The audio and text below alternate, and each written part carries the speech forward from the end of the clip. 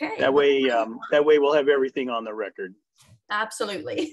I'm So also evening. checking. Go ahead, Mr. Mayor. So yeah, sorry, I was just, I was looking to see, uh, council member wise, um, I see Mandy, I saw Tony and Bill. Yes, Um, okay, good. and you. right. Yep. Okay, so good evening, everyone. I'd like to welcome you to this workshop this evening on October 25th, 2022, 6 p.m. This workshop this evening is to discuss the Healthy West Orange Pavilion, and this is workshop number one. As many of you know, this is a project that the town's been pretty excited about, and the, and the grant funding for Rotary to build this is an exciting prospect for all of us. So as we will see shortly, Mr. Brooks is working with the Rotary team as their project manager. And on the town side, we have Mr. John Fitzgibbon, who has also been a huge part of this process every step of the way. So with that, I would like to turn it over to John to introduce the team members that are here and to get us underway with the presentation. We will have a presentation from Mr. Brooks and his team. And once that's done, we can open it up to questions. Thank you, Tanya. Um, yeah, so tonight we have with us Andy Brooks, again, uh, with uh, Z- uh, ZHA, who's actually working uh, directly as the project manager for the Rotary. Uh, we also have on board McCree, Richard McCree, as well as, I believe Cindy is also on, and then as well, um, some folks from, I believe Tom is also on from Hunton Brady. So it's kind of our, our design build team from that side of the fence. Um, as you know, on June 8th of 2020, the mayor and town council approved the proposed uh, town uh, event pavilion in accordance with the project management agreement between the Rotary, Town of Windermere, and also the Rotary Club of Windermere. Uh, we went out and solicited RFQ bids, uh, made a selection with Hunton Brady, McCree Design Build Team. Um, that was then approved by council. And as part of the requirements of the grant, we are to have uh, at least one workshop, two if required. You guys can make that decision tonight. Um, If you're comfortable with what you see, uh, you, you have the option of whether you want us to come back with additional information for a second workshop, or we can then move directly right into what we call the construction documents, knowing that what we're showing tonight is really the schematic phase. So tonight's uh, goal in the workshop is to show you all the work we've done. We've gotten everybody on board with the team. We're now doing construction estimating uh, to ensure what that look is. So it's kind of this now design build phase, you know, getting McCree to agree to a number and then also getting uh, Hunton Brady to, to agree that that design and that number match. And so that's kind of where we are tonight. We feel we're confident in what we're showing tonight will, will be that um, cost uh, within the million dollar grant and that uh, we do have some minor modifications that I wanted to share with you tonight and that Andy will share with you tonight on the red line of the original design guidelines that I established for them. Um, we've gone through most of those design guideline uh, comments back and forth um, with both McCree, Hunton Brady, and ZHA. So I think we have basically a package tonight that is kind of our schematic concept design. And if you guys are good with it, then that means we would probably move forward into the construction document. So I'm going to turn it over to Andy Brooks from ZHA and let him walk you through the process. Thanks, Andy. Thank you, John, for introducing everybody, but I'm going to just step away and let Tom discuss their design and start off with the site plans you see in front of you. Sure, thank you. Uh, hopefully you can hear me okay. Um, so yeah, I want to talk through a little bit about the design. Um, so first looking at the site plan, just to orient everybody, um, north is to the right side of the page. So, uh, so as we're looking at this west, uh, west would be toward the top. So yeah, we're at the uh, intersection here of uh, West Fifth Avenue and uh, Main Street, right behind, uh, right behind the basketball courts. Um, we we we took a great deal of effort of siting the building um, to be uh, to be situated one to maximize the amount of spectator area that we can have um, uh, in front of the stage uh, stage area um, uh, without impacting um, or minimizing the impact to existing trees as much as possible, um, as well as existing um, sanitary system that's uh, that's further to the west of where the building's located. Uh, also, the connection of the sidewalks of where this is, where it's in close proximity and tying into the sidewalk system for the building, uh, the old town hall there just to the south, um, and then curving around and connecting more toward the north, uh, which exits out onto uh, West Fifth Avenue. Um, the orientation of the building, where the stage is oriented, faces east. Um, that was intentional in that um, you know there's more private residences that are further to the west so from a sound sound transmission standpoint, directing the stage further to the east where there's more public spaces, more commercial establishments across Main Street um, would have the uh, you know least impact to single family residences. Um, and then finally on the, you can see kind of in light green uh, there, there's a small exercise park uh, correct right there that's kind of in close proximity to the sidewalk system and uh, and kind of nestled in amongst the uh, the shade of the tree structure. Um, so that's on site. I believe the next page might be the floor plan. We could talk a little bit. Actually while i'm going to floor plan and maybe come back to this view if we can? Okay. That's great. So the program of the building, uh, the, the primary uses is the stage, of course, for the performance spaces. Um, on the left-hand side, we have a, a small concession stand uh, with a serving window that's out to the south or the left side of that room. Um, just to the right of that is a storage room uh, and janitor sink. So this storage room will be for equipment, um, you know, any risers or podiums that might need to be out on the stage for any performances or lectures. Uh, the tan area is the open open um, stage itself, uh, which is open air, lots of ventilation uh, from front to back, left to right. Uh, and then on the right side of the stage, we have a small electric room, two group restrooms, uh, one male, one, uh, one for women. Uh, these are fully accessible ADA compliant restrooms um, that's providing three fixtures in each, as well as three sinks. And then just to the right of that, there are two smaller uh, family restrooms that are accessed from the, the north side of the building, those two doors that, that go to the right there. And again, those are fully accessible um, family restrooms. Um, access to the stage, there are, I'm sorry. Back there. Oh. Yep, no problem. Um, so there are access points at the back of the stage. You see those black lines, those are steps uh, that come up onto the stage. The stage is um, uh, two feet uh, above above the ground. Uh, so there's steps in the back. There's also steps on the front of the stage that that um, that wrap basically the front the front leading edge of the stage. And then there's a ramp that's on the right side for accessibility. So it's um, fully fully wheelchair accessible up to the stage platform.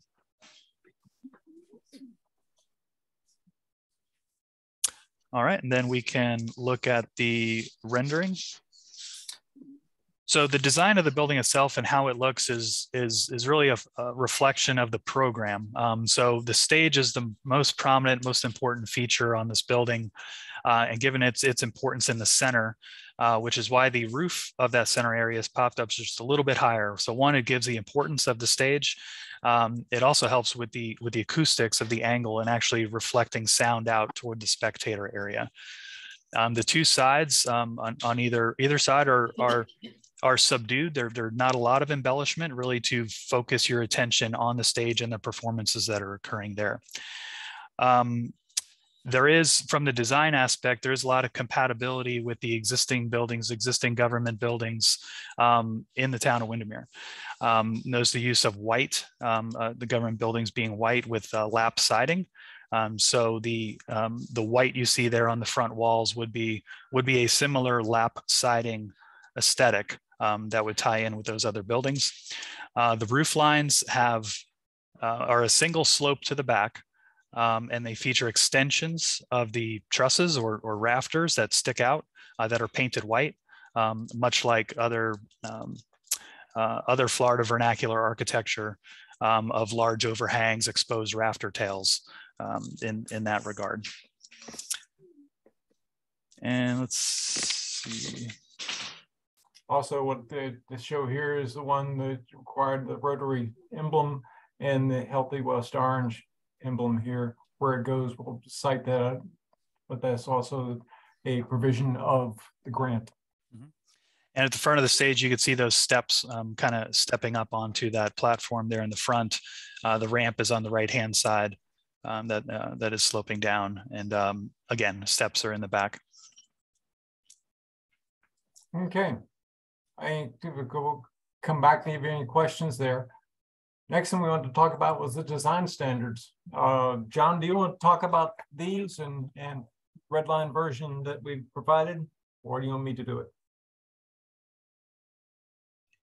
I, I can do it. And, and I don't necessarily know if we have to go line item by line item in that. Um, just being respectful to the council's time and everybody on the call. They are part of now, you know, the, the public record. Um, I kept them in a red line version just so you all could see the variances between our design guidelines that we had in the original concept through our committee, as well as the new design guidelines that we have done relative to the budgeting purposes for budgeting purposes.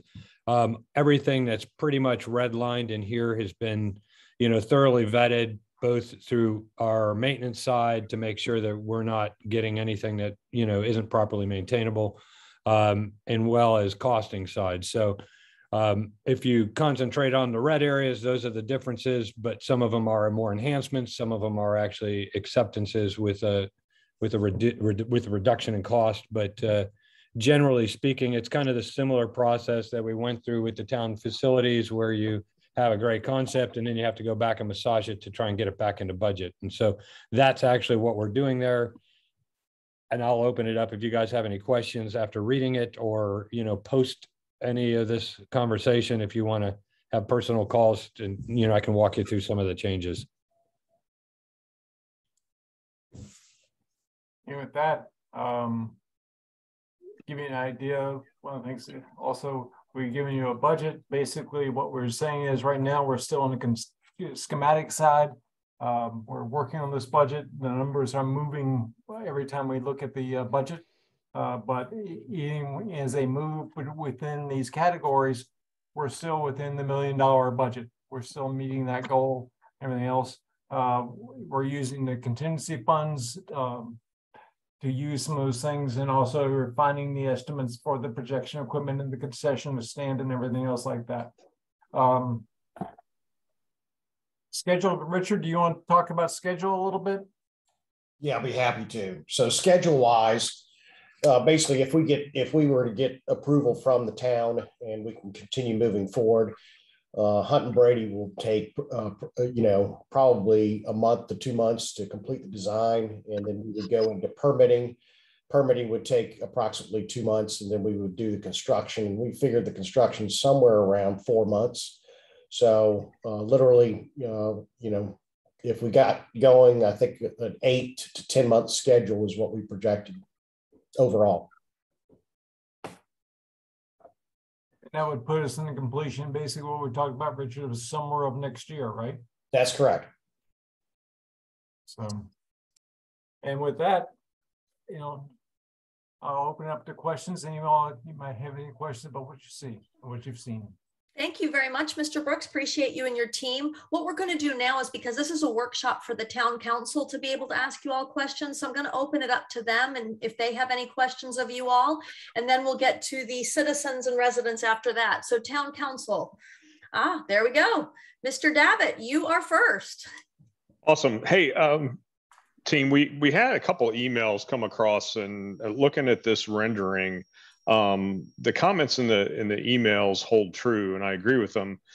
It seems like the pavilion doesn't quite match the architectural uh, cues from uh, town hall and then the new town of Windermere admin facility and police department. Um, was that taken into account? And and if so, what where where are we pulling the, the cues from? I think what I can address and Tom can talk a little bit more about it, but The rendering probably doesn't give enough detail to it. Uh, but basically, we're putting a masonry building and then putting a Hardie board siding to match the other town facilities. And Tom, if you can talk a little bit about that. Yeah, that's that's correct. Um, yeah, so the the building form is really a, a function of of the program and you know the stage and the and the uses on either side. The aesthetic um, with the siding and the materials that are being used is really the connection and the tie to the other buildings with the with the white siding um, you know some of the some of the the the, the roof structure um, metal roof um, you know that would that would be a metal roof that is sloping uh, in one direction toward the back. Um, we're also on this building trying to break down this scale a little bit. That's the use of kind of the horizontal lines between the white area and the gray area as you see on the rendering to kind of break up that elevation. So it's not so you know just just one material one you know siding over the whole thing but to kind of break it down a little bit and make it more to scale for uh, that's more appropriate uh, for this building. Did you consider um, potentially putting a gabled roof on say at a 75% 25% um, along the two lower sections while maintaining the the roof line of the the stage area because I, I believe that would match the uh, existing facilities a little bit better than the current design. Yeah, we did, we did study several different uh, line uh, options. Um, one that had a, a, kind of one roof line across the entire entire building, both the stage and the areas um, to the side. Um, this option that we see here has the broken roof where the stage is elevated higher to kind of give it that more importance. Um, to give a gable end on that is not one that we investigated, a gable end over the stage. Um, on one regard, it may be detrimental to the acoustics. Um, that kind of single slope angling outward is really is really functionally for you know the performers and, and getting that sound and uh, you know uh, reflected out uh, toward the audience. If you had a gable roof structure in there with uh, a more elaborate truss structure, kind of forming that gable end, um, that would be that would be incredibly difficult to to manage the acoustics of that. Yeah, and I was thinking more over the um, restroom area and concession area, have a you know a hip along those those long linear pieces, and have the I see you know front portion, say the front twenty five percent of that roof pitch forward, while the remaining seventy five percent in the back pitch to the rear, mm-hmm. um, mm-hmm. to kind of take on the cues of of the new town facilities. I see. Yeah. Um, yeah, Tom, let me just address that too, because I think there's a longer history here than, you know, you, you being involved in what we gave you as the committee. So the committee, when we had that um, back in 2019, and that was the committee that Stephen Withers and I were on, we actually did a lot of investigation that with the early Hunton Brady team, Tony, okay. um, and actually looked at those kind of features and it really, and that's actually the original one that we approved. So this was the one that kind of burst out of the committee. And you get and you know better than anybody, you know, renderings are these, you know, pieces of eye candy that don't tell you what you're getting, but you know, you kind of get to see what it is. And this is actually probably a nicer rendering than the, the other one relative to the level of detail and the point of perspective that that you're looking at versus mm-hmm. this one. You know, and you camera views make a huge difference in just where you place it for the view shed. So we we actually did do a lot of research and looking at different, you know, varying roof lines and everything else. And I think ultimately, when you look at this one versus where we ultimately are ending up, it does kind of present itself consistently with not necessarily the architecture, but the building materials. And again, the architecture of this building is really being driven by the program in which it's being utilized for. And so you end up with a lot of slanted roofs and slope versus gable. Um, that's really more history for you guys to understand because what we approved, that what we approved, took a long time to get there to approve it. And so what we were trying to do is stay with what was initially approved by town council and the majority of the residents. Hey, John, I, I thank you for that input. I, I also think that you know, when we we approved that, I know that we all made a special note that hey, this is a little bit more. I, I think I think that original rendering rendering looks really cool. I don't think it matches our downtown. So I right. think that was the issue, and we we made council was pretty pretty note uh, heavy on that in terms of saying, hey, you know, yeah, the concept's there, you know, but uh, definitely we want to make sure that it that it blends uh, and and you know takes on the cues from the surrounding downtown area and uses a you know the the the the, the um, master plan pieces that that we have established there. So Um, I think, the so it thing, definitely, it definitely is a, it's, it's much less modern looking than, than the initial one. I think part of the challenge that maybe some of us are having with that, with the current rendering is that it is, it might just be an angle thing or whatever. It looks very squatty. Um, I don't know that it's that way in real life, you know, I mean, this is, that's this always a problem with it- that's, but that's why we're here. Let's get all the input and, you know, you guys have the skills and the abilities to, to, uh, you know, process some of that feedback. And, um, I think that it's, it, it's probably a, you know, a scale issue in this particular photo. Yeah, having sat through many of these at Universal Studios, the camera location in which you take your point of view or perspective view of the rendering makes a whole hill of beans difference. And we, on the previous one that you saw, which was the one that we approved earlier, that, you know, I, I, it was painstakingly me trying to figure out what's the best perspective to really get the visual for what we're talking about. And then you look at the other one and it's kind of a little higher, right? And so it has a different perspective to it. But I also think it's important too, when you think about when we when we are looking at new buildings and architecture you know eh, we had a lot of pushback on the design of the lobby because it was almost too contemporary for what we were doing. But it actually made this kind of transitional period between two buildings that were kind of more in character to the older fashioned buildings that we have in our town with this modern day you know kind of connectivity through the lobby that had a more contemporary modern look to it and you know that's been you know accepted very well because i think it makes a really cool connection and also kind of brings us into maybe a little bit of the 21st century so Absolutely. yeah Yeah, you know, and I mean, I think that, you know, we'll get, we'll get a lot of public input tonight, I'm sure, as we, you know, but I think now, tonight is the, the good opportunity to get that public input in terms of Right. how, how traditional, how modern, how, you know, how colonial, how whatever we want to be in all of this.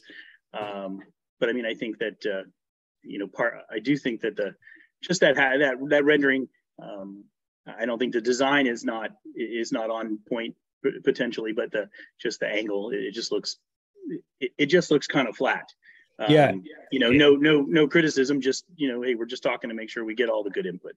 Yeah and i think too one of the things if you notice the new rendering which has kind of got the rafter tail kind of feel to it is similar to town hall which has the rafter Mhm. tail look to it again Yeah. remembering that this is more of a uh, kind of contemporary use you know because of, and so we're trying to combine design materials as well as use proper use for functionality for performances with sloped roofs and looking at sound and acoustics and everything else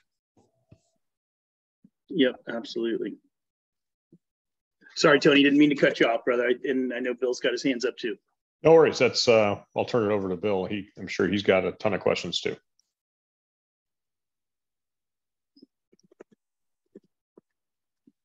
I only have two. Uh, I, I- I do kind of agree with the comments about, um, you know, it, it doesn't match the uh, architectural style of what we've got in town. But, you know, it's, it's better than, you know, original. We do have the open rafter tails. Um, and maybe, maybe there's a way to uh, enhance that with some, some um, cosmetic architectural features. I don't know, columns or something that that might mimic something that we've got on town hall or uh, or the new town facilities. Um, so yeah, I understand the concept. And uh, one of the comments I heard earlier was that the stage is the most prominent feature, and from my viewpoint, it is not. The the the section that's on the right hand side of the building is the most prominent feature from this angle, from me looking at it. And I'm just wondering if there's any way to break up that facade so that it um, so that it isn't so prominent. Um, that might help, you know, with with the the overall look of it, because you know some people that I've talked to about this, they they think it kind of has a sterile look to it. Um, so you know, I don't know if there's a way to visually break up that facade, uh, either stepping it back halfway through, or you know, some kind of you know even paint or some some kind of color uh, difference. Yeah, I think one of the things, Bill, that we're missing is probably some uh, lower level landscaping that's probably more, uh, you know, eight, six, eight foot tree height kind of things that actually break up that facade from a landscaping perspective. So that really, to be honest with you, to your point, we want the focus to be on the stage, not on a big wall. And then secondarily, I always get nervous when we show points of view and perspectives on renderings because yeah. you know this was this was really a bad choice on angle because you're staring at a big blank wall. If, yeah. if the perspective view is moved closer to the original perspective that we did on the rendering, right. it would have drawn your eye not more towards the stage and not towards this big wall. But there, there are things that we can look at through the design, whether it's architectural or whether it's landscaping, that really allows us to, you know, streamline the focus towards the purpose of it, which is not necessarily bathrooms, but you know, performances. Right. The bathrooms yeah, I think, ancillary use. I know? think a single tree right in the middle of that white wall would, would change the uh, perspective. Well, even if there was a couple of crepe myrtles or something along that wall that kind of yeah. broke it up, you know, so, and we'll look at that with the landscaping. And I think that's what, I think the reason that we didn't do that is because we wanted to make sure that you guys were comfortable with the architecture and the design of the building without hiding it too much. Yeah. But then knowing that we yeah. can always drop back in the design to soften the blows a little bit on the look. Yeah, I, I think it's yeah, I think it's ninety percent there. Uh, it just needs some some detail. My other comment was about the pocket park. Um, can you go to the site plan, please? So the location of that pocket park um, is not good that space is very often used for um, uh, pretty much every event that we have the 5k the windermere wine and dine the uh, even the 9-11 uh, celebration not not this view the, the other view that shows you're talking shows, about the little exercise park correct Bill? yeah it shows okay. the pocket park can you go to that view so yeah that one so this little pocket park is there any way to put that behind the stage I mean, even yes. even yes. looking at the um. Yep. Hey, Bill. I'm sorry, Council, Councilman Martini. Yes. I I feel like did we not have a discussion? We might have to go back and check the record on this, and, it, and this yeah. might might take some some discussion with um, you know the funding partners and, and all those involved. But I felt like we had a discussion about incorporating additional um, exercise equipment, you know, over at Central Park to enhance what was there and, and you know, maybe like put some signage up so people would know that yeah, you could go so, over to the park and there's a, you know, a, a plethora of really cool equipment and then add to that. Yeah, and, I thought um, I thought so too. Did um, we have that talk? Uh, we, and it may just be something we need to uh, you know, to work out with all the partners to make sure that they um, feel good about that. We we did discuss it, Mayor. Um, it was originally I was understanding it was going to be pushed further west, but we need on this site plan we need to locate the septic system mm-hmm. to get an idea of how far you can push that back, and is there any room to push? You know, between trees, what are we losing because of disease and age, but also what are we taking out? But also I feel like that pocket park has gotten sucked right up into the front when, you know, originally we were told it was going to go in the back. And that was I, a part uh, of it. I mean, I know that, yeah, I, I, there were several discussions on it. I think that, I mean, this is just my take. And again, we'll have to talk to the partners. But I, you know, my my gut feel was that we were that this was not the best place for this particular feature. We understand why the feature is important, and we wanted to highlight that. Hopefully, maybe in a with all of the other exercise equipment that we have um, to enhance that, and hopefully that would be possible and something that we could we could show the value of, um, and it would not. It would be a comprehensive array of uh, exercise equipment rather than kind of a sampling because I think that's what this is. It's to encourage people to, you know, to get active and and and all of the Healthy West Orange concepts have, um, you know, some piece of of, of health and, and fitness in, involved in them. So. Um, I, I think it could be a conversation. I agree that this particular spot that it's in is it's problematic just because as we condense these items in and bring that bring that public use space tighter and tighter we're going and, and our events become success more successful and bigger and bigger you know you're you're you've got some competitive nature uh, fighting there. So we want to make sure that we that we preserve uh, especially those really important areas behind town hall um, you know for something that is really special heavily used um, and um, you know maybe there's there's a, a better place for the exercise equipment whether it's on this particular site or like I said, if, if we could show them Central Park and say, hey, this we can make this even better, that may be something that that may be a good idea. Um, sorry, Bill, I didn't mean to interrupt you. No, I, I did. I apologize. No, that's all right. You get, yeah, right. I think we're all on the same page. I mean, I'm looking at the satellite view on Google Maps, and and it shows that sidewalk there, and where the pocket park shows on this on this diagram. There's like five or six tents there. The the whole site is, is littered with tents. So I mean, every I, every function that we have that I can recall, even you know Pet Fest, there are there are tents all over the place. So yeah, um, I think it would be better served to to move it across the street at, at Fifth and Oakdale, or you know some other suitable place. And Andy did mention uh, trees. Um, tree board is is discussing uh, replanting town square area because we've lost a lot of trees. Obviously, with the hurricane, we've lost I don't know 30 plus uh, heritage oak trees, and um, and we're going to lose a few more for this project. But but they're discussing replanting um, that whole uh, area there, and we'll get with with Public Works and and everyone else to make sure we're putting them in the right space and and replenishing our canopy. Hey, Bill, one thing I, I th- and, and, and to your point, you know, this is really kind of just an early concept for yeah. the the pocket park, so to speak, or the exercise park. I, I, know at one time, you know, Byron and I were talking about it being more linear uh, behind, you know, where you're coming off a fifth and it becomes like this little linear park behind the um, within the trees. What we don't want to do is get out into that, uh, you know, overflow parking area because I think that is hugely beneficial to the town, especially as events begin to grow. Um, so it's kind of protecting that, but also utilizing peripheral places around the parking behind the building.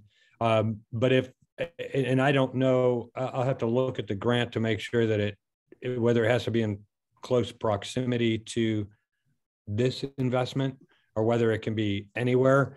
But that was the original request, John, that it was in close proximity. Yeah, and I think that's what it is. And I think I think let I think the thing that we need to make sure tonight with you guys, because the building is the most important, and then we can drop back with um, with our team and we can actually also meet with you know bill and a couple folks uh, within the town to look at varying concepts about how we actually make this kind of linear exercise track work.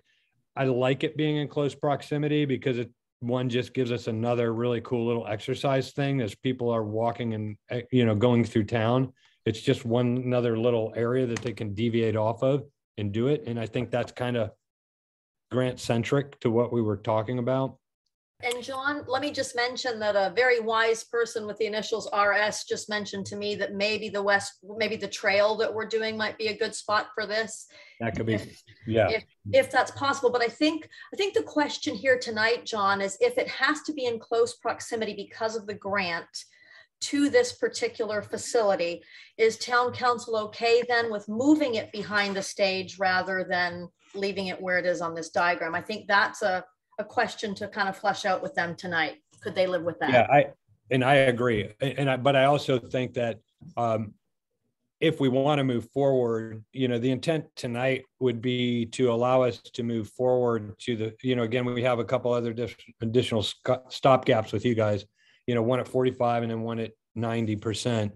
But also we can probably provide, I think we, we're talking about two different aspects. One is making sure that we're good, solid on the building, because that's the long pole in the tent.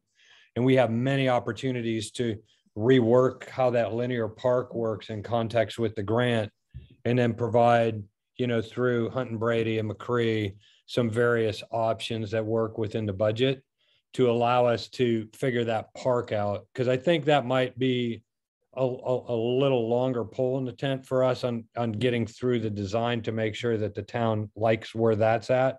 I think tonight, I just wanted to make sure that, you know, the footprint of the building, the design and architecture of the building, one being consistent with what we've already, you know, basically approved, um, allows us after this evening to begin to go into the forty-five percent CDs. We can, if, if that makes sense. If you guys are not comfortable with what we've shown tonight and you would say, hey, I think we need one more workshop. What I don't want to do is have the um, linear um, little pocket park exercise thing drive the fact that we're holding up the building construction until we figure out that because we can make that work. We can have a special workshop on just what what are we doing with the exercise component. John, I, I don't think that the, yeah, I, I don't think that that portion, you know, un- unless council feels incredibly strong, uh, I don't, I don't think that the, I think we all agree the current placement isn't ideal, but it's not something that would hold us up from moving forward. Not a with the- showstopper, With the brick yeah. and mortar, right? Yeah. So, uh, I mean, I think the placement could be, I, I want to say strongly, I think the placement doesn't work. But it's not going to Yeah. stop us from designing the building and moving forward. I, I- I think that's the piece that, that you're looking for. Yeah, Um, I thank do you. have a couple, couple building questions if uh, Councilperson Martini has all his questions answered. Uh, yeah, I'm, I'm finished. Thanks, Mayor. Thank you, sir. Um, so a couple building questions. Um, the, so the, the actual placement, John, I know that you, I, I'm assuming everyone worked really hard on that and, and it's, if, if it, if we can't do this, we can't do it. It- Are we pushed back as far as we can possibly go without, you know, negative ramifications? Yes, if we start pushing, it, so I, I think it's important that if you look at um, where the concessions is, the stage, and maybe the men's room and a portion of the women's room, that's almost the exact same footprint as the community building. Okay, If we, if we push it back any farther, or we say, hey, let's not even put it here, let's put it in that back lot, then, then you're gonna have to take down all the trees because you have zero sight lines. yeah, so I don't want to do that. I just, I Yeah, just so what wanted we. to know we were as far back as we could go within reason. That's all. Yes, without without disrupting a lot of the trees and because of where its location is, there are a few live oaks in the back that initially we thought we were going to have to take out, but now we don't. And so that's what Eric and I've been working on with the arborist. And so, you know, think of this as kind of a squeeze play. So we're trying to figure out what's the best way to do it, but yet still have. And if you look at, you know, when you think about the center access of the point in which we're looking at the stage, it actually is a really good center access point between where most of um, the folks are during food trucks and large events. And, and so Absolutely. that- I just, yeah, I just wanted to, it's a little hard to tell from the renderings whether, you know, the exact placement in terms of where the existing, um, or, or the, you know, the, the existing community, former library, former someone's house. Yeah. Um, yeah, you know, so had a yeah, lot of that's, functions. that's helpful. I just want to make sure we're pushed back as far as we can go, um, without compromise and, and that's fine for me. And, So- and if you look at, if you look at this rendering here or the site plan that we kind of look, what we were trying to do is kind of make it this like backdrop catcher's mitt Mhm. For the downtown events. So when you come into the downtown area, you've got, you know, all this event space on the basketball courts and you got everything else. And you see how the axis kind of comes off the back corner of the Yep. town hall and kind of wraps around. And then the restrooms end up in this very central core kind of location but yet also the concessions do as well. And so it kind of formulates this kind of catcher's mitt for experience. And, uh, it, so, you know, it's funny because a little town history, so you may remember that there was a ball field there as well. Yeah, there you Um, go. And and City Walk has the same arc. So the other piece that I'm looking at is, can someone walk me through in layman's terms, how we know this is the best way to contain sound from going backwards, especially to um, forest? Um, what, you know, what's the science on that? Why is it open in the back? That's interesting to me is that, you know, I'm just curious, can, can, so we're definitely going to get questions on that. I want us all to be able to, to say with confidence that we're doing everything we can to contain the sound and push it out in the right direction. We would we will be looking at that uh, in the design because right now I think we need to push that up further in that back wall. That's what we've talked about in the design, but that'll be part of the design development as we go forward. Is look at the acoustic see a area back in here. It's open. See how much we close that up to make sure we don't still get airflow, still keep the way the area is uh, ventilated to a certain extent, but also our sound transmission is minimized. So is there, obviously there's science to this. Who's gonna, who's gonna make sure that we are um, doing our best to make sure that, you know, we're doing everything we can uh, within reason and, and, you know, affordability and all of that to make sure that we've, we've got that accomplished. I think Richard can address some of that, but I'm gonna be looking to Hunton Brady as our design professionals.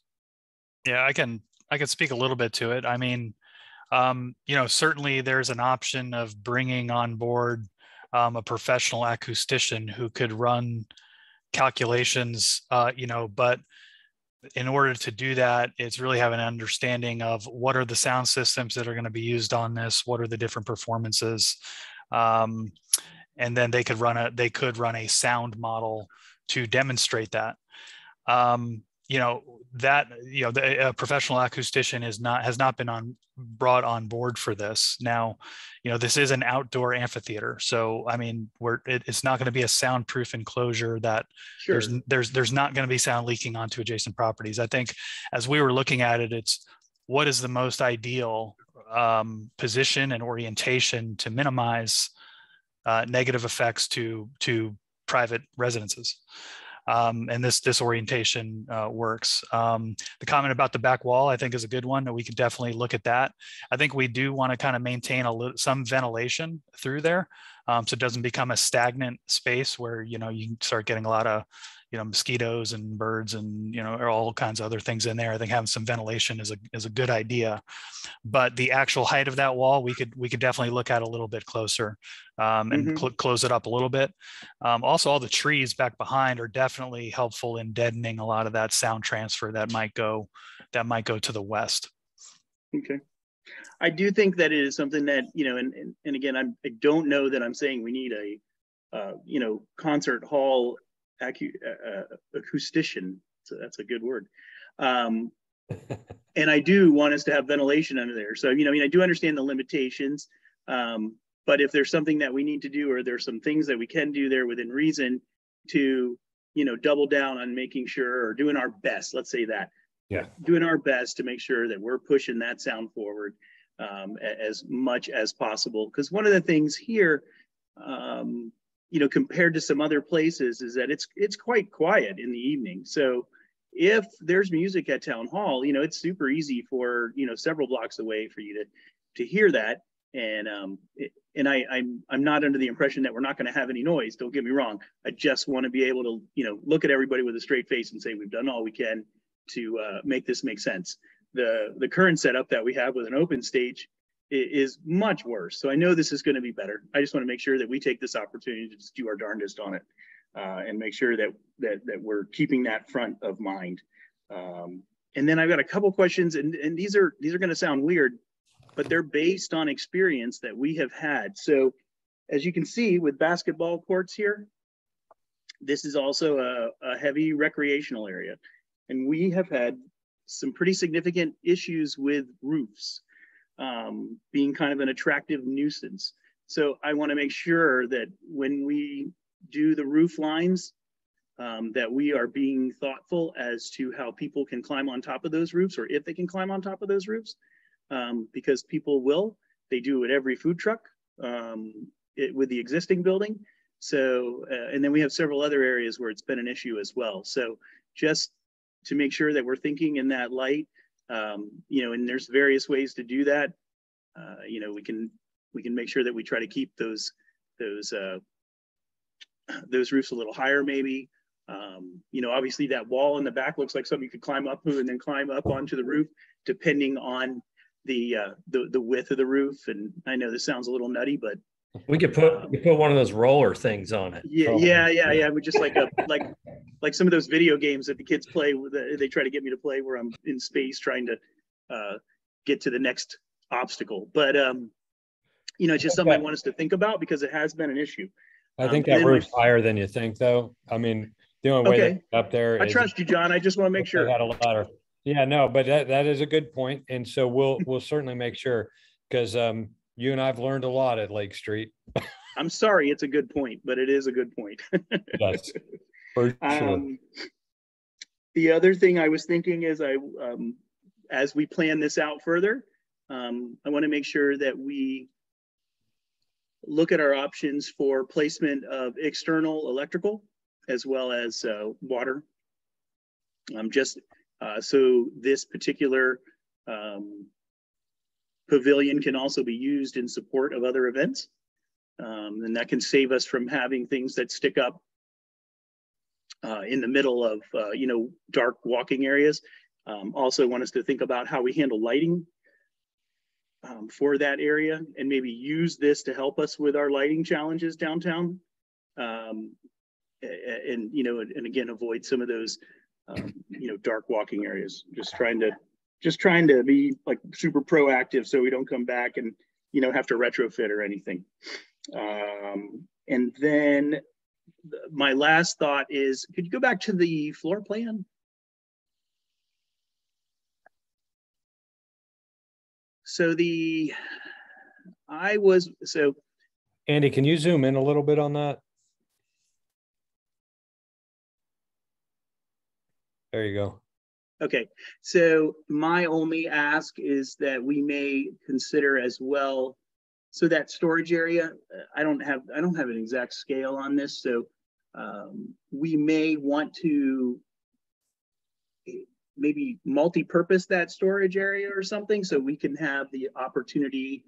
Um, you know, like we, sometimes like if uh, there's dance or something like that, they'll want to do quick costume changes and, and uh, having a place where they can do that real quick and jump right on stage is is a real benefit. Mhm. Um, makes things really smooth. Um, I, I don't know if it's you know that may be too big an ask, uh, but just be thinking in that direction. If there's a little space there uh, where we could do something like that, um, that would be that would be really good. You know, it's, um, it's usually like a quick change place. Yeah, we actually talked about that, you know, during the initial design phase, and I and I like where you're going because I think that's important. And one of the reasons why we had the larger bathrooms, which you could Mhm. actually lock off, and then we also had the individual, you know, family bathrooms, which Yep. allow quick change and that kind of stuff. And Sure. if you zoom in on the the the bathrooms, like at the low wall, we actually built a wing wall out beyond the um the bathroom doors so that if you did have actors or people that wanted to change in those rooms and then come Okay. around the back to get back on stage. So thinking of performances and those kind of things, you know, and I always looked at the storage in this place is not the storage for the town to Right. store things there, but it's really a storage place for that event, right? Yep. And so however you want to use that room is how you want to use the room because Yep. it's always empty for the event. Perfect. Yeah. And then last and final for me, and uh, I'll turn it over to the others. I'm sure you have questions as well. Um, it, and again, it, it may be too soon, but I want to make sure that we're integrating our our electronics and projection and sound uh, with with our acoustics and with our containment as well. Um, and then putting in something that is uh, you know, kind of smart and idiot proof. So, so it, it, you know, becomes well used and, and, uh, you know, gives us, gives us what we need. So let's think about projection, whether we do, you know, rear projection, that type of thing. Um, you know, uh, because you can do, I, I think with, with having the right people involved to talk about little things that have to do with the stage, you can have things serve more than one purpose much easier, and that's going to be more efficient um, and and you know better on the dollars and cents of this and uh, make it a lot more usable. I, I, think you know we're we're on our way. Um, I certainly want to make sure to take two seconds to thank you know Byron and Norma and Rotary and uh, Healthy West Orange, um, John and and and all all you guys on the design team for helping us get here. Um, you know, just I don't I don't want to be remiss and uh, not say uh, how appreciative we are um, in, in all of this. And also just, you know, remember, these are just thoughts and ideas. So we get, you know, I think we've gotten better and better at this. You know, we know what to ask now a little better. So Yeah. um, with that, I'll shut up and uh, turn it over to either Andy or Mandy. I'm not sure which uh, put their little hand icon up first. It's Councilman Williams first. You're, you're doing a great job, Sue. Uh, second mayor, I love it. Second mayor. You gotta keep training her. yes, please do. I need all the help I can get. Andy, you're on mute. All right, sorry guys. Um, first, I'm really disappointed at what we were brought. Um, the lack of detail, um, scale, perspective. I mean, looking at the somewhat site plan, you see part of the basketball court, not both of them. You can't see all of town hall or the. I have a hard time placing this on on that block, and the overall map view gives you an idea, but the big question was the stuff behind where the trees are in what we call our over our overflow parking. How's that being used in uh how's that going to benefit our neighbors along Forest? Um along with the detailed part, how how high are these roofs on the front edge and in the back? Tom, can you address that? Yeah, let me, um, I have another drawing on my other screen here. I'm, uh, pulling up right now. Cool. Thank you.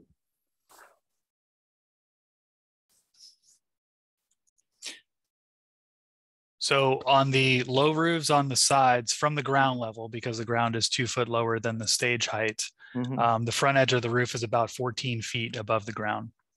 Okay. And then at the stage from the ground, it's about 19 feet. Okay, yeah, that, that sounds about, okay, just. The rendering looks so low and squatty and without anything in the front for scale. It looks, I mean, it looks like in the back, I could crawl up onto the roof and walk around. Um, and I think the mayor had a good point on that. It's it- just lack of. Lack of the detail. Uh, our first rendering, at least they'd stuck some some people out front so we could kind of get an idea of how tall it is. And, you know, they had the little keystones all over the front to kind of break up that big wall. Um, the mayor covered, the mayor and uh, Councilman Martini covered a lot that I had to question about the park, the trees, where the septic is, how far we can push it back, because this feels like we've crammed it in here to make it work. Um, in in my opinion. Uh, do what is the distance between the front steps and the basketball court of the stage?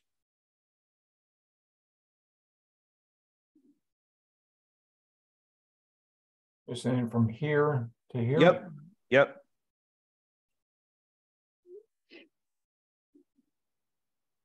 I'm gonna let you deal with that one if you can. He's doing it now. No worries.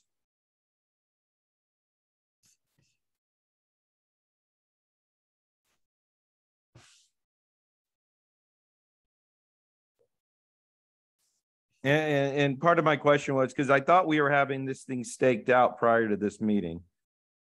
I thought that was in discussion before that we were gonna stake out this building so we could actually see how it fits.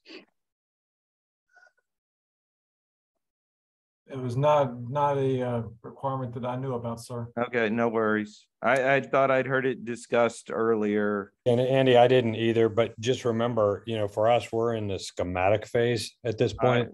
Yeah. I so- understand. So for us, it's, um, you know, the general purpose. Even, even roughing it, I mean, without the overlay of the old, of the old community room. Uh, you know, Yeah. I'm trusting it. what you're telling me, well, this is where it fit. I I'm it. looking at the hedges on the, on the north side going, okay, that gap is where the sidewalk So that may be, that may be a good exercise as follow-up for the team to provide an overlay of the existing community room to give you guys perspective. Yeah, because I've had a lot of residents ask about how close this thing's gonna be to the basketball court. How close is it to the edge of the ramp for um town hall? You know, of what space are we losing is, has been the big concern. Yeah. um, Of open space. Yeah, and sorry, I was muted before, but approximately, approximately about forty-five to fifty feet from the front of stage to basketball court. Okay, that's what I figured it would be. I would just, it's, like I said, it's just hard. I know you guys are in concept, but it's just so hard to get scale. Um, when everything is, uh, we can't see the entirety of the other buildings either. To kind of go, okay, it's, it's the width of the basketball court and then some. Um, uh, that's, that's where I've been frustrated, you know, we got, I'm so used to getting, you know, 200, 200 page uh, agendas, not 18, but only three of them have uh, information uh, on them. Uh, is the roof, do we know uh, roof material yet? And on the trusses, are those going to be wood or steel? Richard, can you address that? Yes, so there'll be some form of a metal. uh, Okay, Those trusses. wonderful, wonderful, wonderful. And, the and the intent is, Andy, that the roof will match similar to our new town facility. So it's a metal metal. That's yeah. what I'd hope. I mean, I would hope we'd strive for something if we can budget it to make it happen. Um, and then the trusses all being uh, steel. Uh, The intent for me and my biggest pushback was a long-term maintenance, like Yep, we did with the town. So everything's Hardie plank, steel, block, very, very Yep. little wood. Love it. Thank you. That's all I got. I'm just, you know, struggling with perspective and scale is, is my biggest thing. And then the park being pushed way forward when, you know, I was always understanding it was more linear in the back where we have our parking, but we were making room for it. So, um, that's all I got. But thank you. Andy, can, this is Cindy. um, Hey, Cindy. Sunshine.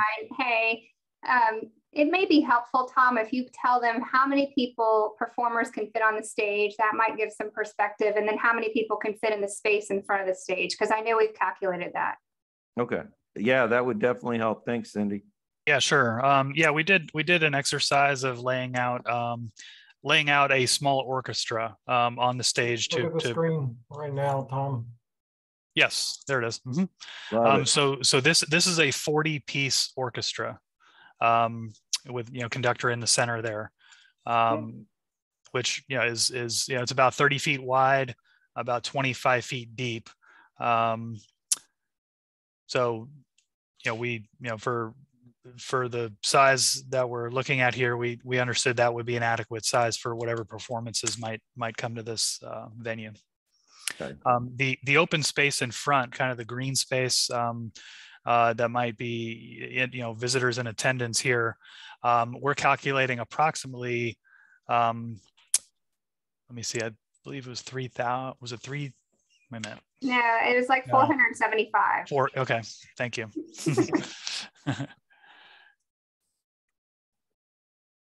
All right. Yeah, I think it was three thousand square feet. That's the number that was sticking in my head. So Gotcha. that that equated to about four hundred fifty people. Mhm. Yeah, and I think, I think what's important, and I'm sorry I keep chiming in, but you know, having been on the history of this thing forever, um, one of the things, what, uh, part of our original program was to be able to house, um, have forty orchestra pieces. If the orchestra was bigger, a lot of times you'll see them in front of the stage with the lower percussion instruments and some of, some of the other things. So that's where the steps came in, the monument steps that we're adding in the front to allow, you know, extended orchestras to come in or performances that may want to come into the crowd. And so that was the purpose of having the monument stairs across the front. And I think in addition to that, we also had to look at what the area was um, from a code perspective, which is where which is where Tom's talking about the 3,000 square feet to allow us to properly code out the amount of potty parity for the restroom sizing. Even though we know if we have larger events, you know, we'll provide additional restroom facilities. But certainly what this design does is provide us way more restrooms than we currently have in the downtown district for the events that we're doing. So we're kind of playing this, you know, back and forth scenario. Well, at the same time, we're playing the back and forth scenario of how this thing sits within the environment. Well, at the same time, we're playing that back and forth to allow us to make sure that we're better today than we we're better with this than we are today with the way that we play music in our downtown district. No, I think you guys have done a, an awesome job. It's just, it's like the last, the piece showing the orchestra pieces in the, in the steps and stuff. That's, you know, that's part of the detail that I expected, kind of gives us a little bit more information. How, then my last one is with the larger restrooms and stuff, have we gotten through DEP? um, for, do we have to expand our septic and our drain field? Um, What's it gonna look like, yeah, that'll actually, that'll actually go through Orange County Health. Right? uh, On whether or not we need to expand them.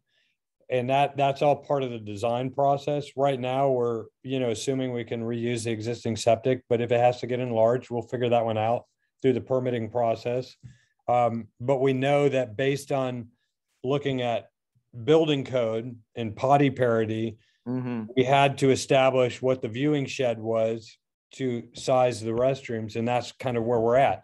And so that's all part of, once you guys agree that, hey, schematically and conceptually, we like this design, that's when we can start going into construction documents and really start answering a lot of your questions.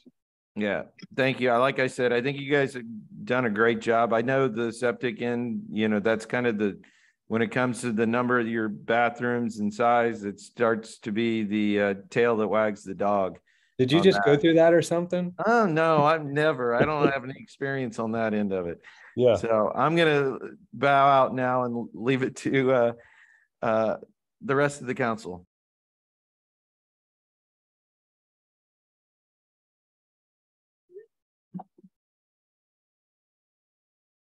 Mandy, I think you're next. Thank you. Thank you, everyone. This is awesome. And, and I um, echo all the other um, council members' um, comments and questions. Uh, a lot of them were mine, so um, they got to them before I could. But I do have one question. Has anybody um, contacted anybody from the tree board and Parks and Recs to get their input? Because I feel like um, they might be um, it, very helpful in some of the design as well and thought process because I do know that I got some pushback about the stage interfering with a lot of our Parks and Recs events. So now that I can see with you know with the orchestra and layout and stuff that helped me see a little better that it's not encroaching. But um, I just curious if if the chairs have been reached out to, um, they would probably have some um, great insights for you um, just in the process and, and help maintaining that it's not interfering with other events that we have. But Yeah. otherwise, thank you. It was a great job. And Mandy, I can, I can address that because yes, um, you know, as the rep for the town, um, I actually had Eric Hoyer, our arborist out in a meeting with Susan. We looked at the building, we got an initial assessment from the design build team on the trees. I had Eric out there. We, we did a little bit of pushback and saying, hey, if we root prune these, we could probably save this one, we could do this one. And so we did that massaging. And then Eric did a final arborist report, which we needed for the demolition package and also for our um, uh, just general assessment of being good stewards of our town, right? It's just the same thing that I went through at the town facilities. You know, how do we how do we save large oaks and how do we save these kind of things when we start to encroach and put buildings and foundations in?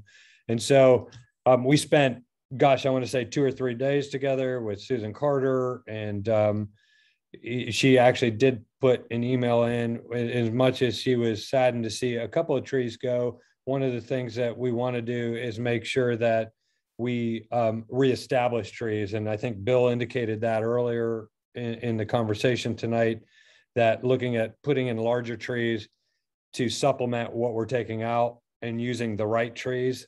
Um, so we're working with Eric on that as well and our landscape design folks through um, this team um, because that is important to us and to the town. John, I just put up the arborist report. Yeah, so just to give the council rest assurance, you know, and you guys have the history with me. I know how important trees are. And to the extent that we're gonna work during construction, but also there are certain trees that ultimately do have to come out to be able to allow us to expand and develop. And then we look at mitigation and then coming back with replanting after the fact. Yeah, and I know you guys did a great job with the town facilities and, and Eric, Eric is a great arborist and he knows, uh, you know, much like you do, John, how we feel about you know, the trees and, and what's necessary to maintain those. So Yeah, and he's, and he's, he and I work good together, you know, I push on him, he push backs on me, and then ultimately, you know, Susan was there on our walkthrough when we were determining how we were gonna establish this arborist report. And um, I think between the three of us, it was a great team and we all came up with great solutions to move forward with um, what our game plan is moving forward. And I think we kind of saw that a little bit in Susan's, you know, where, whereas she was, you know, kind of bummed after just coming through a hurricane and losing 30 trees and then losing a few more, but also enlightened by the fact that we're also going to be able to make it even better for the long term.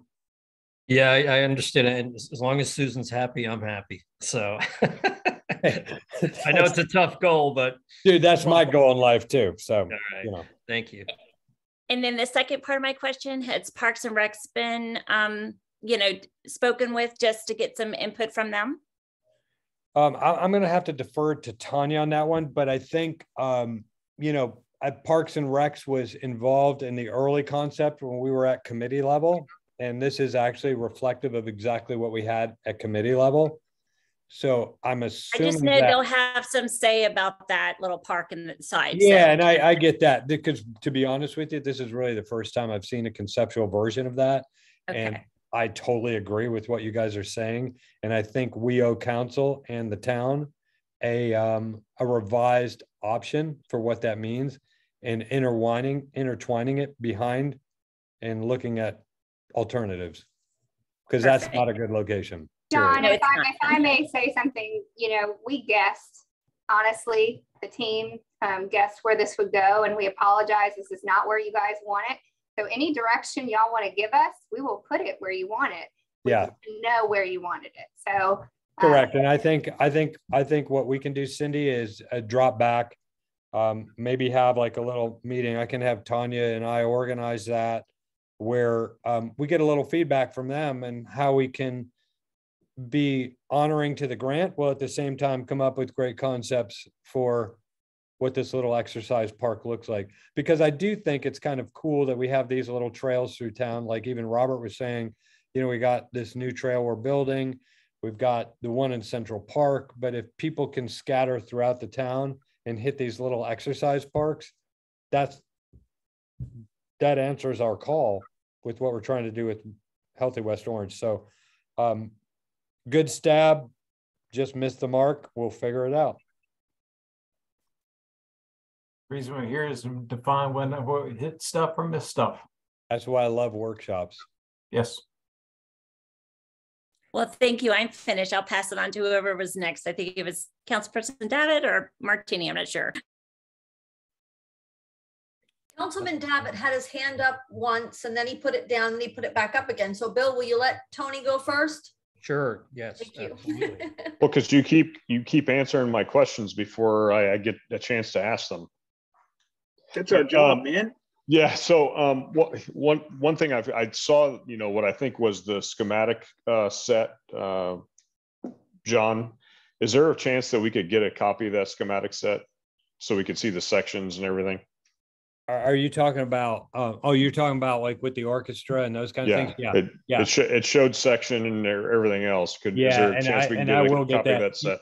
Yes, absolutely. You know, one of the things that I always wanted to do is because sometimes we get lost in two hundred pages of stuff for the council. And so for me, what I was trying to do is pinprick things that were meaningful to the discussion tonight.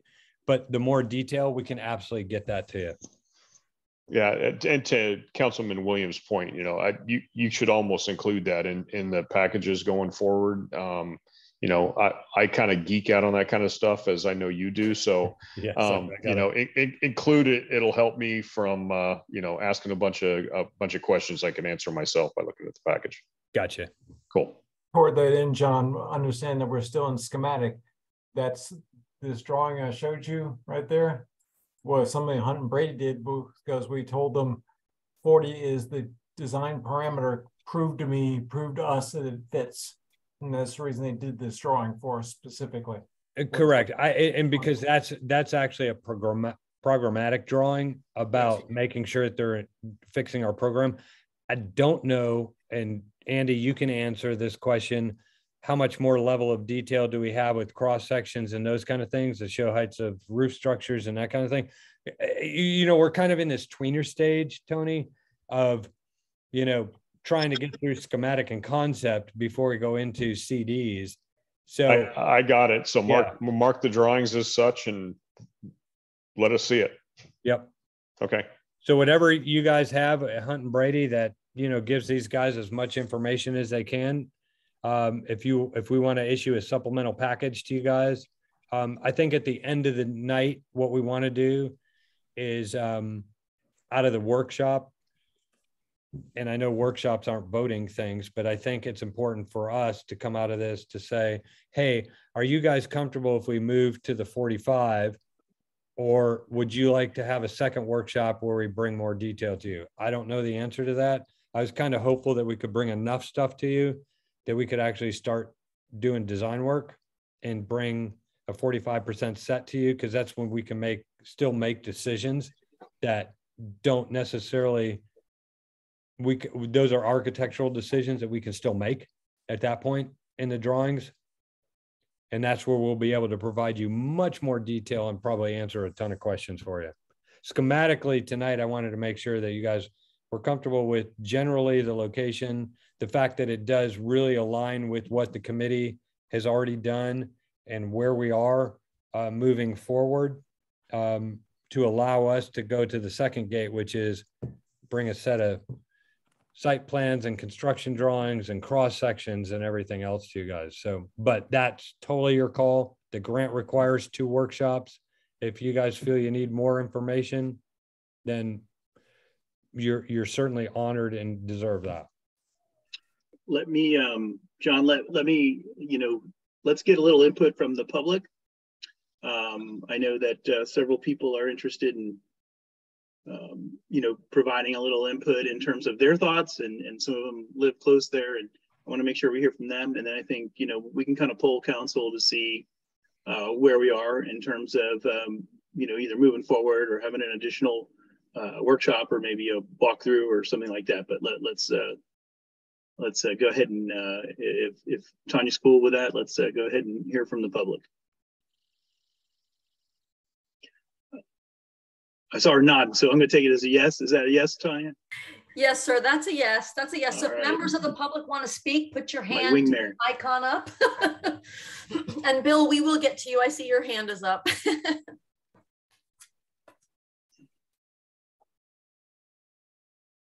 Are there any residents who wish to speak this evening? Yes, Mr. I, I Withers. see Stephen. Yep. Go ahead, Mr. Withers. But you're muted, Mr. Withers.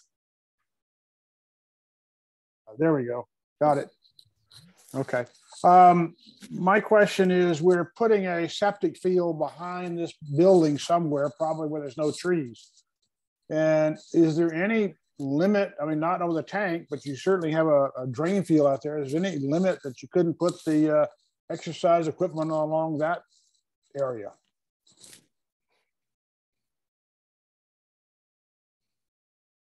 Uh, yeah, I- think the intent, Stephen, is to use the existing septic and if it has to be increased for the drain field or tank size, that, that, once we determine that with the health department, um, that, that's the intent, Yeah. because it does service existing restrooms. And then I understand, but you have a drain field out there uh, that is in the back there. yeah, It's, it's where the trees are not. And you're not gonna park over it. So I'm wondering if you couldn't actually just have some exercise equipment on top of it. you could, and, and John, the actual, Can I help you with that question? Yes. So um, when we were doing playground equipment at Windermere Recreation Center, they didn't want us to put playground equipment or anything even in the, on top of the drain field. Okay, that was my question. Yeah, correct. But I think what, where we know where the drain field is, um, we've actually done a, we've looked at the layout of that, and I think Byron and I were looking at that that affords us a place to kind of eke around it, but yet not impede into the parking. So I think there's a solution there. We just got to figure it out. Okay. Thank you.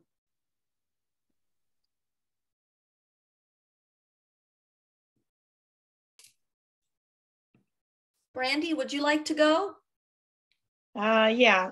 so, I mean, wow, that was a ton of information. I have a, a, lot, I had a lot of the same comments um, that other people did. Um, I would add that, and, and I mean, it sounds like that, that little exercise thing is going to move, but that's really close to the memorial that's there and to the, to the library itself. And I know, you know, being the mom of a little one that kids already play all over that you know, when they're coming in and out of the library. And I mean, I understand it's exercise equipment, but I'm talking like two year olds and three year olds. So I think a little bit further set back would be good because, you know, it's going to turn into a jungle gym for those kids. And that's kind of really not the intent. And it's easy for little kids to get hurt on that kind of equipment because they really don't understand, depending on what it is, um, how it actually works and moves. Um, even I don't sometimes, like me and my daughter, we kind of both smacked our head on something one time. So that's just Yeah. something from that perspective.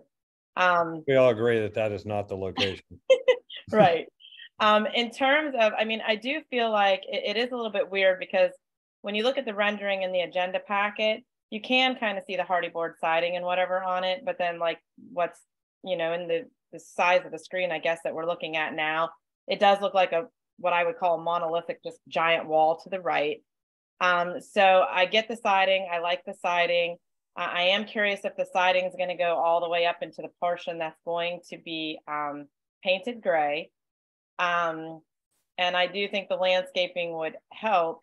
Um, but you know, in terms of like the rafter tails and that, when you look at the old rendering that you guys showed, and I know it's on the town website, I actually thought it looked kind of nice where the roof overhang that was sticking out on the front of the buildings basically had what I would refer to as dimen- dimensional lumber um, in the roof, which gives it more of a classic older feel. And then I think, you know, rafter tails or, you know, if that makes it somehow look too modern because of the overall shape of the building, there's something that's more like historic corbels or something else that could, you know, just, I don't know, age it up a little bit. I, I've heard a lot of people say they think it's very modern looking and doesn't fit with the town. I don't think any of them realized that the siding was part of it, which I think helps a lot. And I get the trying to mimic the rafter tails with the town.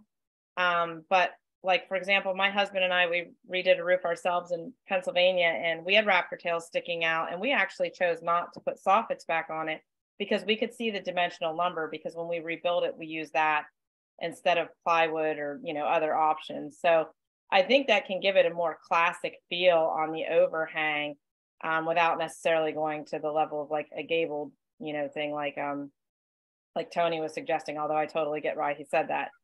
Um, my other question, I, I do have a question about, you guys talked about the height at the front as, you know, being 14 feet and uh, I believe it was 19 feet. I have it written down here somewhere. What is the height on the, the back of where that roof comes down? And how much is that height, I guess, not in terms of just removing trees, but how much is that going to affect having to limb up on the trees that are behind there? Like, is it going to interfere with a lot of lower limbs? Or are we far enough away from that to, you know, not have that happen? And yes, definitely, I won't geek out as much as Tony, but I like to see the dimensions too. I like to know the heights. I like to know the width of the stage. And I understand there's a scale on there, but it, you know, having the existing footprint of where the trees are behind it a little bit, or at least the existing footprint of the community building is all very helpful in putting it into to perspective. So I like those details too. I figure more is always better, and then it saves me questions, you know, later on. Even even though I get your point for trying to make it, you know, less paper. so I don't know. Take your pick. These are my Well, the ar- the arborist report actually shows the plans for the Okay. trees, um, which I think you have, Andy, in this package. Um, it's like the third page of the arborist report.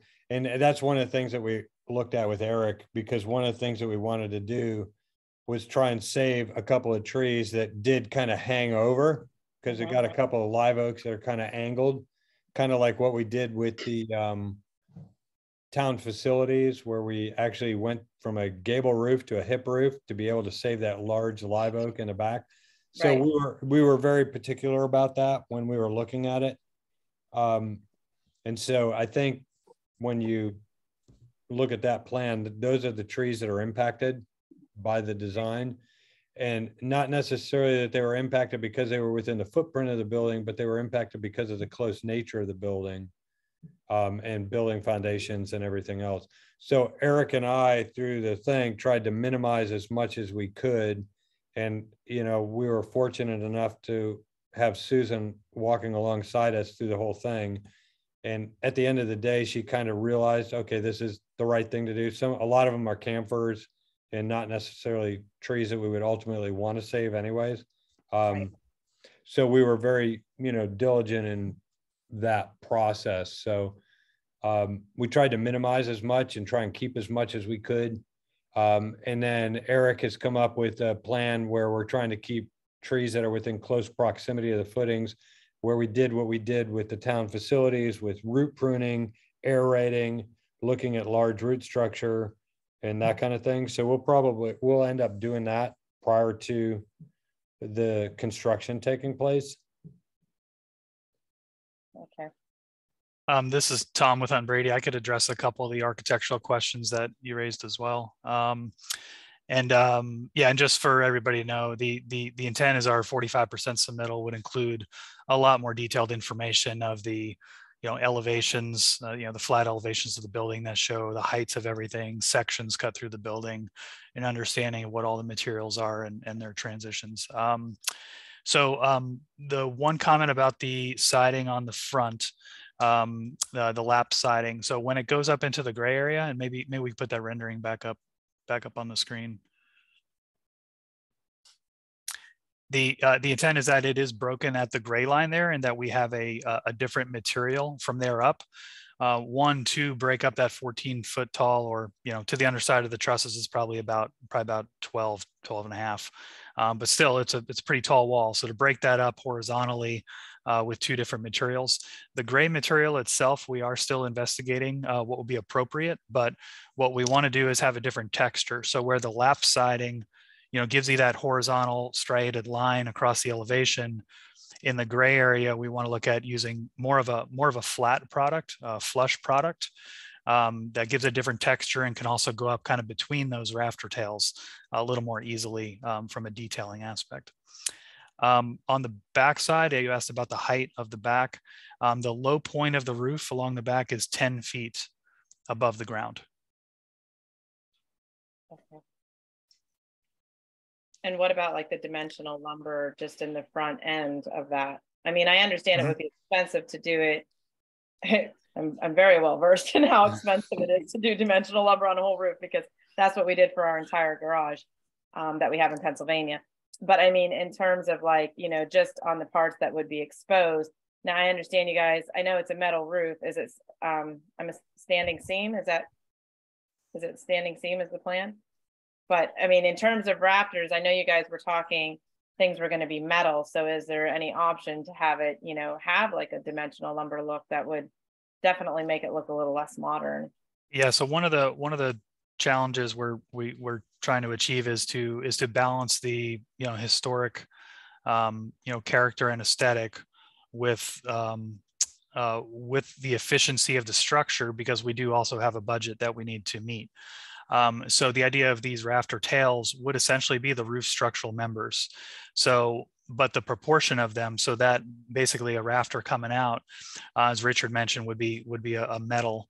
Um, we're, we're looking at either a steel option or possibly an aluminum option, but the proportion of it, you know, being approximately you know two three inches wide by maybe eight ten inches tall of being similar to dimensional lumber so it has the same same general aesthetic um, and and you know painted in a white in a right. White I mean, where it would be more or less soffit.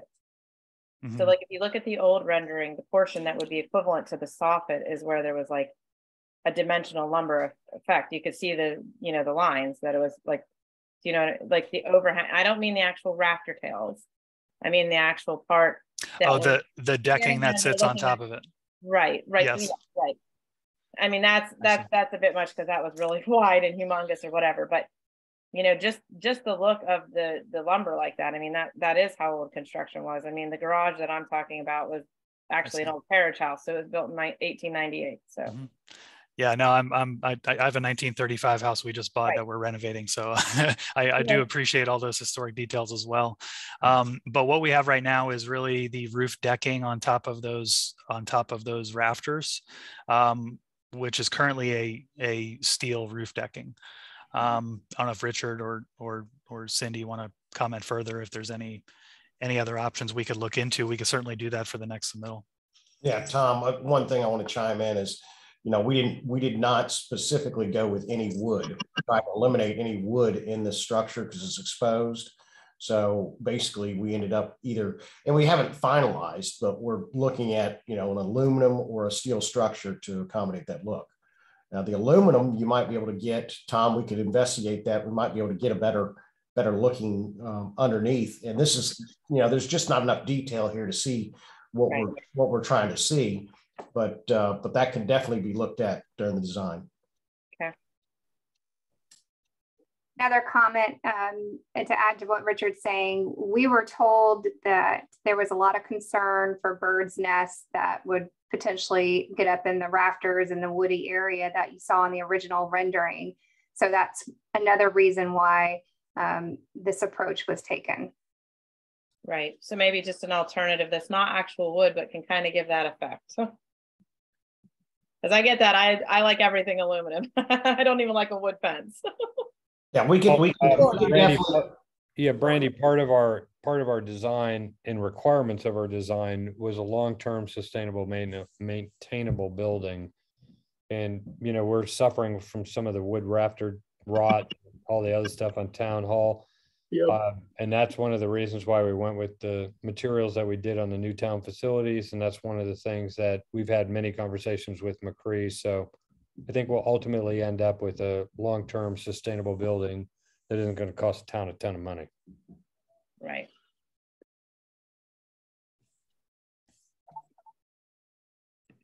I think that answered most of my questions. I'm pretty sure, I don't know, I had a mile sentence long, so. Well, you know my Brandy. number. Appreciate it, Brandy. So Bill, I know you've had your hand up for a bit. Did you want to make your comment? And then I we'll go on to Nora after The that. good, hey, Billy, the good news is on Zoom, your hand doesn't get tired when it's up that long. You know, I, I won the beer stein holding competition at the brewery the other day, so I, I- I'll have you know that uh, I'm well versed in keeping my hand up. for Yes. Long periods of time. Anyway, I'll keep this brief. Um, as far as the amount of documentation, um, in, in this, I understand that we're trying to pare it down and, and I was a fine arts major, so the less diagrams, the better for me. Uh, I would like to see the, the community room overlay uh, as far as the site plan goes on the next go round. Um, you know, I think personally, I think we have enough information. I'm comfortable moving forward. I did have a- one more question about um, the lighting and the sound package. Is, is, has that been addressed yet, or is that something that's going to be uh, addressed on the next step? I think, I think, Bill, that's going to be addressed probably on the next step. So ultimately, our goal with this is that we may end up with a, you know, drop down screen for movie night, those kind of things, but, and then also providing ample power twist locks for, you know, plug and play. Right. So what we wanted, you know, we're not gonna, you know, I don't think it's important for the town to provide lighting and all the other stuff. But what we want to do is provide the infrastructure to allow that to happen. So looking at lighting truss bars, twist locks, that kind of stuff where people can come in. Um, and we haven't really got into that yet because that's kind of really what we're going to do in the 45% documents. You know, do you have a lighting truss that, you know, comes down and has twist locks on it and they put their lighting on it and then raise it up. So those are all the kind of things we have to look at.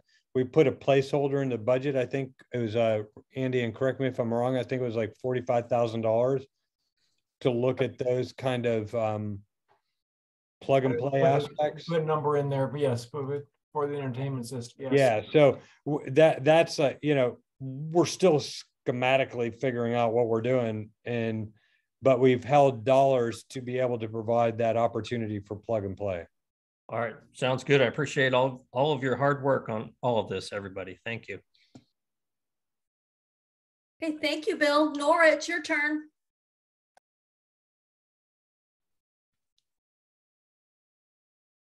Um, yeah, so I echo the comments of I think everyone has said, and that it's it's very hard without any any numbers on this. Um, it's very hard to tell exactly how big it is, but when I look at it, it looks like it's a good bit bigger than the community room.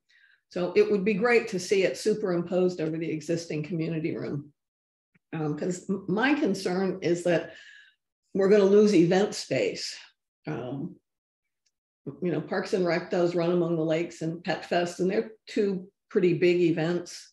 And this drawing looks like we would lose a lot of our Pet Fest event space. Um, and that, that would be a concern to us. Um, and then my second comment is on the uh, exercise equipment. Parks and Rec would love to work with Healthy West Orange on putting um, an exercise circuit into, into a Palmer Park, which is a park we're focused on this year because it, it needs a lot of updating.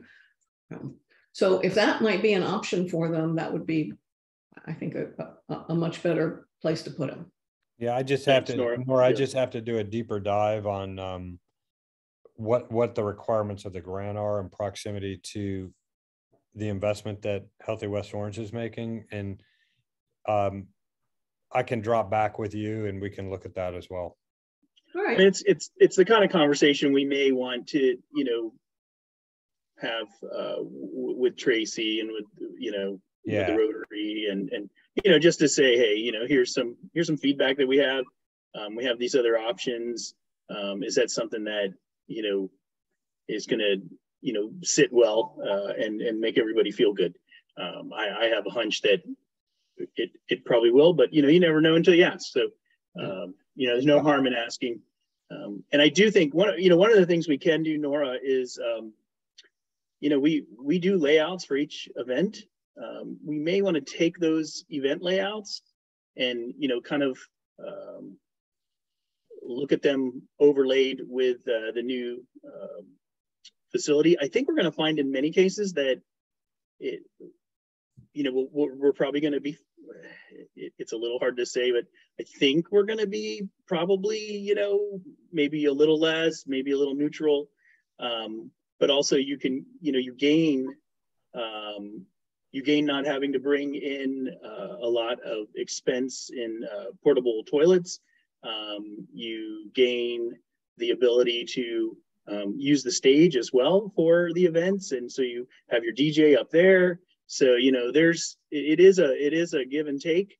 Um, but i think we could kind of do some overlays and and make ourselves feel a lot more comfortable um, you know, and, and, and, you know, the results will be what they'll be and we'll, we'll take a look at them, but just a thought. It would be, it would be a shame to build this really great pavilion for events and then lose a lot of event space. Um, well, it's our hope that we're actually gaining event space. So that would be my hope too, because we had mm -hmm. to last year at, at Pet Fest, we had to um, uh, close up because we we just ran out of space. We had like 75 or 80 vendor booths, and we just didn't have any place else to put them. Yeah. So, well, you know, the more space we could get, the, the, the better. If the town wants to have big events, and maybe they don't. So. I think that's the whole reason we're doing it for big events. Well, you know, I mean, I think we're doing it for good events and well-attended events, and and and also to be able to, you know, like I said, avoid the the having to bring all the bathrooms in, which is not very attractive and and takes up parking spaces, as well as the opportunity to use the stage for part of the event as well. Um, you know, I think there's a lot of things that we do, like on the steps of town hall. Um, there's a lot of things that we do in in some other areas that we could, you know, over time kind of transition to the new space, um, and it would be, you know, it it would serve uh, hopefully as an enhancement. So you know but i do think you know let's let's do the overlays and see where we're actually at. But you're right. If you need 75 tents nora like we're yeah you're totally right. We're maxed. And uh you know we uh, we'll have to continue to try to get a little creative or or that just may be our max. You know i mean 75 tents just may be it. So um yeah we'll have to see. All right. Thank you. Thank you nora. Mr. Withers? You say Mr. or Mrs.? Mr. Withers. oh, okay. Can we? She had her hand up first. Smart man. Can we go to the Smart elevation? man. Would you like your wife to go first, Mr. Yeah, Withers? Angela, you go before him because I. Yes, because I like her accent better. So please, Mrs. Withers. Okay, well, thank you for that. Thank you, Stephen. I'll defer. Mine is very brief. I really just want to make a very positive comment about the people who are expressing concerns about the somewhat more contemporary look of the pavilion. What I like about that is that it actually allows more traditional town hall to shine. This sits back there in a lovely, very simple, uncluttered way. Uh, and yes, the addition of some appropriate little crepe myrtles and things here and there, but it allows town hall to be our lovely traditional iconic feature, and this as a lovely, simple, uncluttered backdrop to all of that. So I just wanted to say kudos to the architects. I think I like that concept, and everybody I think has enjoyed that little contemporary piece between the two more traditional buildings at the new town offices. This will enhance our town space in a similar way. So thank you. I'm all for it. Thank you, Mrs. Withers. Now it's you, Stephen. Um, my comment goes back to Bill's uh, comment about the facade being long. Hey, Stephen, can you start over and do it in an Australian accent? Good eye, Mike. the uh, um, thing that bothers me about the facade is you've got the rotary rondelle place in that corner, which looks exactly where it should be. And then you've got the healthy West Orange lost. It's just sort of floating on the other side. And it seems like if you had an articulation, because, you know, Bill was talking about that, that just reflected the uh, corner past the healthy West Orange thing. So you broke that long wall up. Uh, it- it's an option. It's Hunton Brady's responsibility, but I find the healthy West Orange logo sort of lost in that long wall. I want it anchored somehow. That's just a design comment. Yeah, it's a very, very good comment. I appreciate it and, and agree. Yeah, okay. All right, is that, uh, is that everyone who uh, wished to speak on the, the topic tonight thus far? All right, council, at this point, I would just like to get a little bit of uh, feel from you in terms of are we in a place where we feel like we can allow the team to move forward with the comments that we have provided, with the input that we've provided, uh, and with the guidance that we've provided to go do their best uh, and come back to us, or do, or, or are we more in a place where we want to give staff and the team some deliverables um, that they can uh, get back to us? Uh, I think we're good to go to the to the next phase. I think they've got a lot of input from us and direction, and uh, you know I would like to see a little variety as far as design elements go, and also the overlay. But you know I'm um, I'm fairly certain that all that can be achieved at the same time. Yeah, I second concur. that. I concur. Okay, good. good. So um, obviously, as everyone knows, this is a uh, town workshop. So um, that that does not constitute a vote. What we're doing is polling the council to see um, where we're at. If we've got the input that we need, and we think we do, um, that's going to allow uh, the team to move forward to kind of bring us to the next stage where we will have additional public input and uh, additional um, options to look at, and we can look at some of these overlays. I think uh, the important thing here is that we um, keep the ball moving forward. We don't want to lose a lot of momentum as we roll into um, next next event season. You know, the, the, the sooner we can have the facility kind of flushed out and, and on its way, um, I think that serves the town uh, well. So that's my hope. And uh, again, I want to make sure that I, uh, I thank everyone for participating. I thought it was a good meeting. We got a lot of great input and um, everything was super constructive and well thought out. So if you guys will give me one second, I do have a couple quick, uh, just a quick update on, um, some of you may know, some of you may not know, um, but uh, town council is aware and staff's aware that the Windermere Police Department is undergoing their mock uh, accreditation assessment. Um, that assessment, that mock assessment, which is um, which is a dry run, right? So there's a lot of new policies, a lot of new procedures. We want to get feedback on those procedures.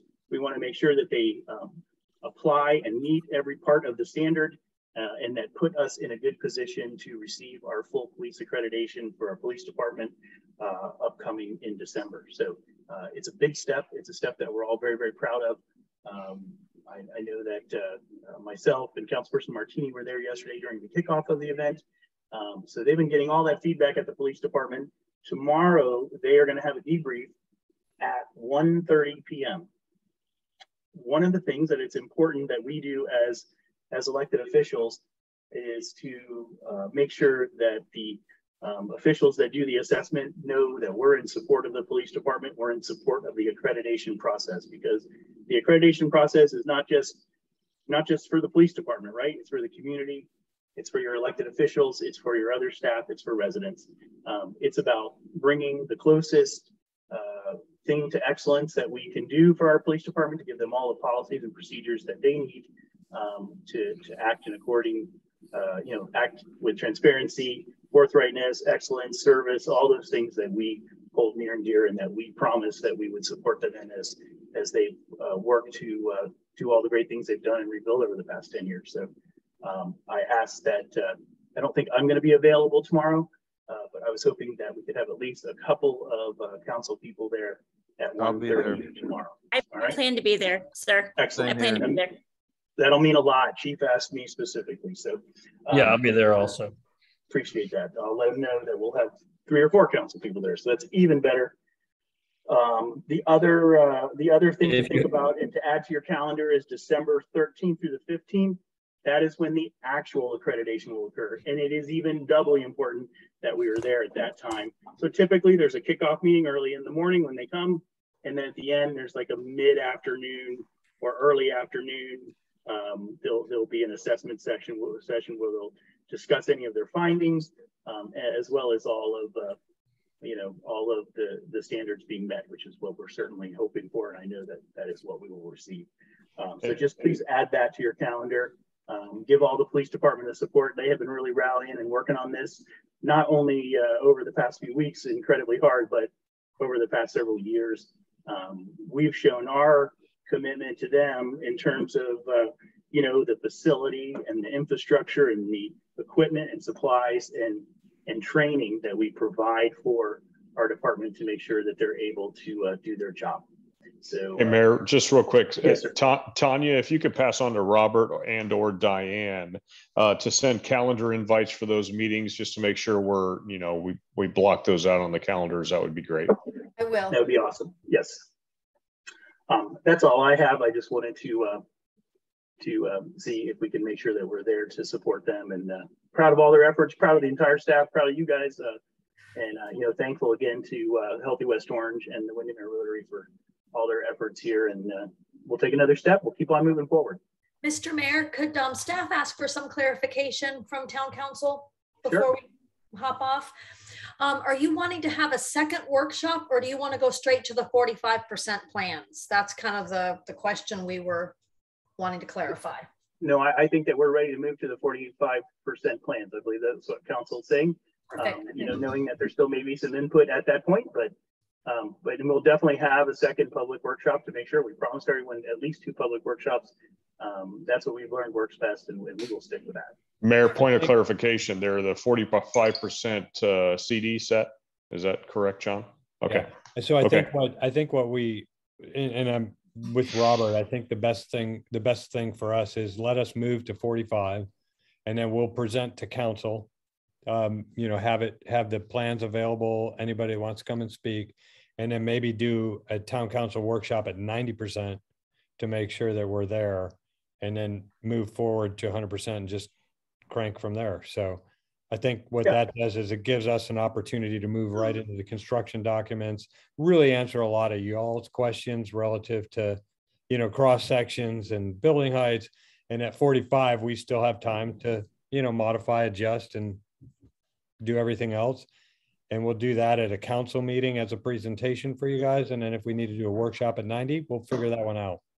Okay, I don't see council uh, objecting in any way, so that seems like a good solid plan moving forward. Um, the other thing that I offer up, uh, and you know, is uh, just remember that if if you get to a place where you're like, mm, we're not sure to zig or zag, um, based on feedback or, or, or what you're hearing, you know, let, let us know. We'll, we'll, come together real quick. You know, we can, you know, virtually this isn't, uh, you know, it's not difficult, and uh, we'll be able to kind of. Yeah, we'll run it up the flagpole. Yep. Yep. Got it. Okay. Yeah. Then as one final comment, Mr. Mayor, I just want to make note that uh, several residents sent comments to the town clerk, which she's making part of this record. That was Susan Carter, um, Rob Hurst, Vicky Hurst, and Mr. Withers. So just wanting you to know that those came in. The clerk has them. They'll be made part of the record for this workshop. Yeah, and I, I think all those, and those They've were forwarded very, uh, to, those were really valuable. they were I mean, forwarded well to thought out. everybody. yeah, and I and I forwarded them to our design team, and actually Vicky had some really good comments about drinking fountain locations Yep. and those kind of things. So we, um, as a design team, appreciate those comments, and some of those we're actually going to try and incorporate. Um, Yeah, and you know, and we're lucky we have some we have some pretty skilled folks in town uh, in this area due to due to uh, their their work in in in show business or or uh, at theme parks. You know, take advantage of those folks, and you know, rather than pay a big uh, acoustic uh, acoustic acoustician, uh, we can uh, easy easy for me to say, right? Yeah. Uh, we can, you know, maybe uh, just you know use those folks to help us out a little bit. Just make sure we're on the right path. Give us a little guidance. I mean, just as simple as you know what what's the right connectivity to have uh, for today's uh, you know music systems and, and lighting and uh, you know it's it's I'm sure it's widely different than than it was just a few short years ago. So Yep. um, yep, it's some robust Wi-Fi out there. I'm sure that'll be important too. So. And Dorothy wants me to make sure you all know she will send out every one of those comments to town council so they can see them. And uh, town manager Smith would like to thank everybody for their participation on his behalf this evening. Thank you very much for everybody's input and we will proceed accordingly. All right, sounds good. If Oh, hey, else- uh, I think one last comment that I think is important because we never discussed it. And Andy, if you can give him an update on the demolition of the existing facility. Oh, Because okay. um, one of the things that we were trying to do, and I'm sorry, I'm just in- interjecting this at the end of the meeting, but um, you know, we got so wrapped up in what the design was. Um, just so you guys know, I think we're looking at, we have the building permit, which should be secured through PDCS. And Yes. Yeah, I'll let you give them the update on that. We should have, it's one minor thing we need to do with the company that Byron is contracted with to do demolition on their schedule to start on Monday. And the, yeah, and the whole idea behind that was Robert had asked if we could try and get that down before the big event that they had November fifth. Yes, um, and take the building down. So the intent for us is we're gonna put up silt fence, demo the building probably in about two days, take it all away. And then put down some nice green grass so that by the time the event happens, I think it's November fifth. That uh, they'll have a little more space to use for that event. So, Sounds good. I, I think that uh, council was uh, supportive and made aware of that at the last council meeting. right? Yeah. Everybody good? Okay, good. Yep. Proceed until apprehended. Is all that is all that beer still in the community room? That's that's my only question. yeah, I, I'm dropping that off to your house tomorrow. There's like 40 cases of beer in there. Yeah, Okay. so it's coming. We should open a brewery. hey, right? Billy's Brewery. I love that. There it is. So, uh, all right. And Martini Bar. thank you all for your time. All right. Nothing Thank else uh, for uh, for the good of the order. We will adjourn our uh, town Thank council you all. workshop at 7:48 p.m. Thanks, everybody. Thanks all. Thank you.